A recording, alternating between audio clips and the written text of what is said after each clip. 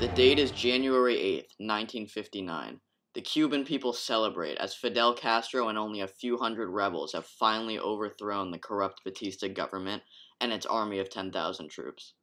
Castro's remarkable charismatic leadership and the sophisticated guerrilla tactics the rebels deployed led to their victory. Behind Castro, the rebels accomplished something that nobody else had done in 400 years winning Cuba's independence from foreign domination. But since so much of what happened depended on the unique personality of Fidel, it is crucial to understand who was Fidel Castro and what shaped his life. The story begins on August 13, 1926, in Birán, Cuba, when Fidel Castro is born. His father, Angel Castro, was a wealthy landowner, and his mother was a maid who had an affair with Angel and birthed Castro while Angel's wife was away. When his wife returned, Angel sent Fidel and two of his siblings away to avoid a scandal, making Fidel an illegitimate child, known as Fidel Castro Ruz, and giving him a rough start to his life. Fidel was sent to live in Santiago de Cuba and later to Havana for high school, where he eventually attended a prestigious Jesuit boarding school meant to correct his rebellious behavior. When he turned 18 and graduated, Angel finally let him use his last name, officially making him Fidel Castro. Fidel then attended the University of Havana, where he became very active in left wing causes, including participation in violent protests at Bogota, Colombia.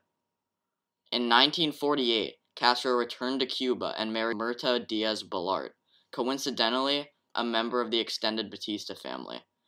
In September 1950, Castro graduated from law school, and in 1952, he ran for Cuba's House of Representatives as part of the mainstream Orthodox Party. But Batista seized power in a military coup and canceled the elections, which did not sit well with Castro. He at first opposed the government through lawsuits, but when nothing came of them, he started to build up a force of 1,200 anti Batista recruits. He was ready to start a revolution. From the outset, let me say I never met Castro but I did have the opportunity to see Castro. It happened in Quito, Ecuador. I happened to be in the park, so walking in the park, I look up and I see two figures in military dress. I quickly identify one as Fidel Castro. I identified his companion as Ortega who was president of Nicaragua at that time. I was impressed with Castro because of his physical dominance as compared to Ortega. Ortega may have been 5'2 and Castro was over six feet, so there was a dramatic difference. Having heard Castro speak in Spanish I was aware of his ability to talk and talk and talk. Diciendo que los campesinos no la querían, íbamos a reunir medio millón de campesinos con sus machetes. So my impression of Castro at that time, and it lingered with me, was that Castro was not only dominant physical figure, in Cuban history, but also verbally gigantic and is able to convince people to follow him. After Batista's coup, Castro gathered forces and planned a military assault that would take place in July 1953. Castro targeted the Cuban military barracks called Moncada near Santiago de Cuba.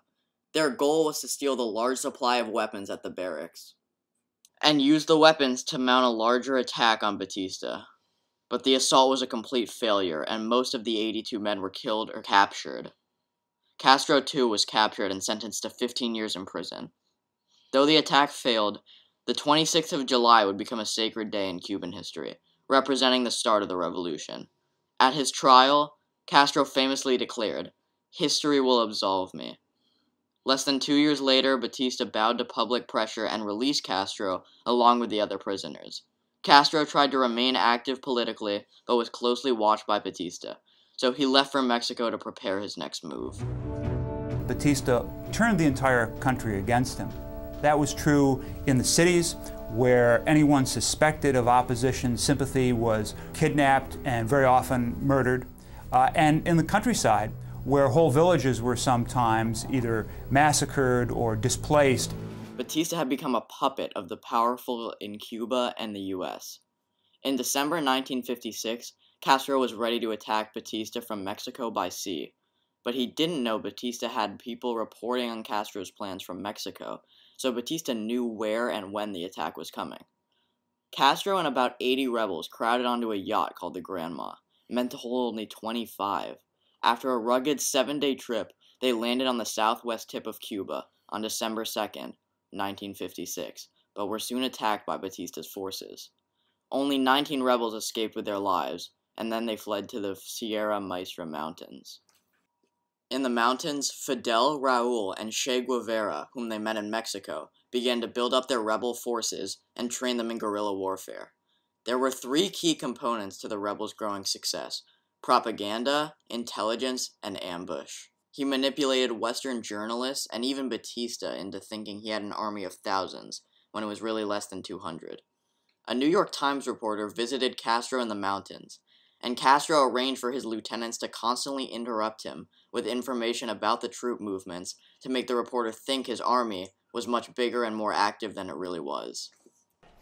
So we have this extraordinary thing that Fidel, with 20 men, is on the front page of the New York Times as the face of the Cuban uh, resistance. That so inspires people that CBS News decides to go up there as well. And here we have a guy named Robert Taber who uh, decides to interview Fidel. And Fidel, has, he's a nat- TV natural, it turns out. And he- Commander Castro, why are you leading a revolution? I am leading a revolution because the legal government of my country was overthrown by the army led by Batista. 82 days before a general election in which the people of Cuba was going to elect its own government. And instead of that, General Batista established a bloodly tyranny. For finishing that tyranny, and for re-establishing a legal government in my country, we are fighting now. Fidel slept with his rifle in a hammock, and this was his headquarters. And I asked him, what do you want to do with this army of scoundrels? He replied, the important thing is not for my army to be powerful, but it is for the people to believe it. The rebels were able to win support from local peasants who provided them with details about the location and size of Batista's forces, making it easier to attack them. The rebels' intelligence proved most crucial in the summer of 1958, where they were alerted about a major attack called the Ofensiva.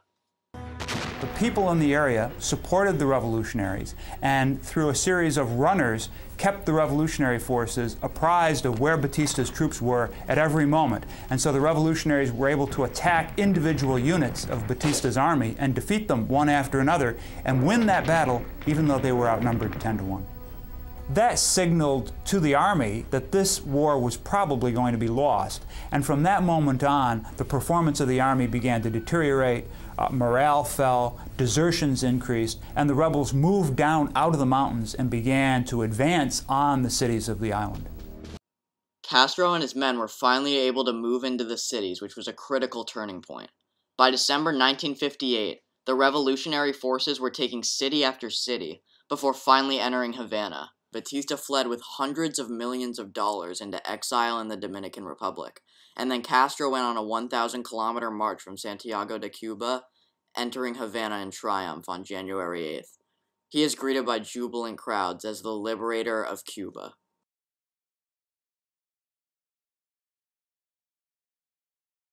Castro was able to overthrow the Batista dictatorship, and his communist government has ruled Cuba until this very day. But what is the legacy of Castro's revolution? Castro is a charismatic leader.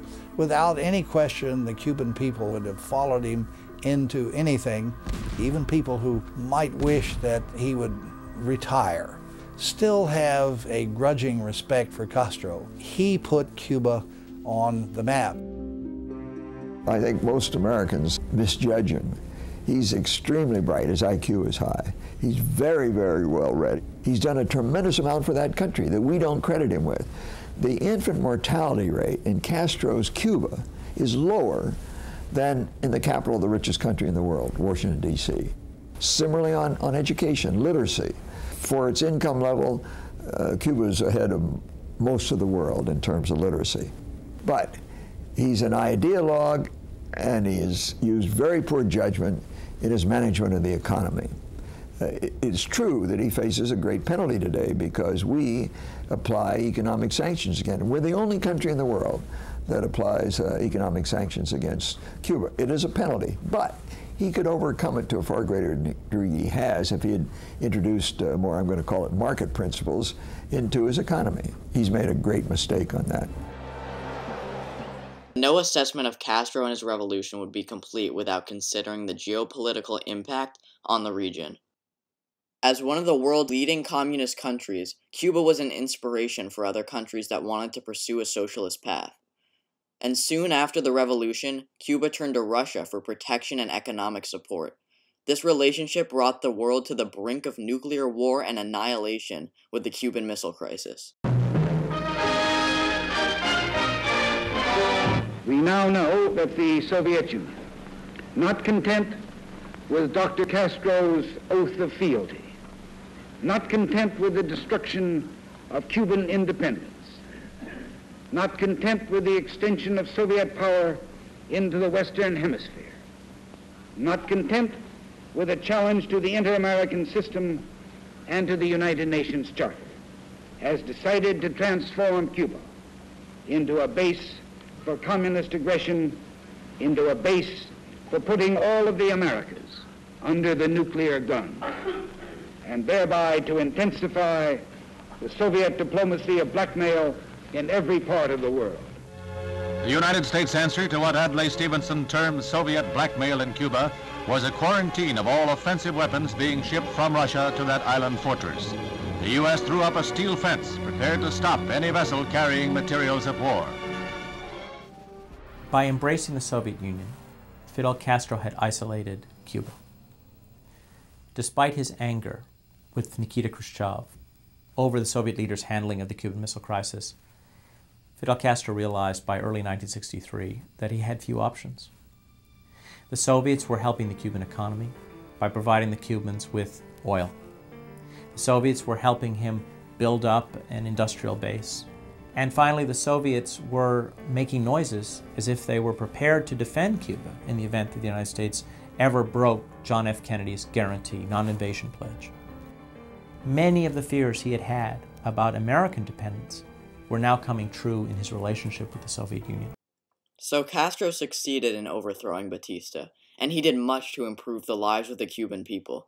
But he also never gave the Cuban people a true democracy, and his decisions led to international isolation for the island nation. Many people who witness this history consider the results of Castro's revolution to be a mixed bag. What was the public's view, or the people that you ever talked about Castro with? What, what were other people's views of Castro? Their view was he betrayed what they all wanted and agreed to was the liberation of Cuba and the ousting of the Batista dictatorship. And after they achieved his objective, the first objective is I'm going to overthrow the government and two, I'm going to remake Cuba the way I want to make it. Here was a man who had an idea I'm going to liberate my country. I'm going to replace what you have with something new.